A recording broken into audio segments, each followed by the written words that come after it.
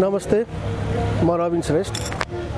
हाम्रो पुराना रङ्गकर्मी दाईहरू हिमाल दाई विजय दाई हेम दाईहरूले मिलेर चाहिँ अहिले सारङ्गा रेस्टुरेन्ट तथा लज आजदेखि सञ्चालन गर्नुभएको छ।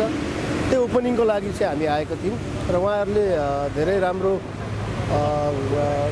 कोठाहरू कोठाहरू भए होइन तपाईँको राम्रो बनाउनु भएको छ र रेस्टुरेन्टहरूको खानाहरू पनि स्वादिलो छ। उहाँहरूलाई प्रगतिको धेरै धेरै शुभकामना दिन चाहन्छु। नमस्ते।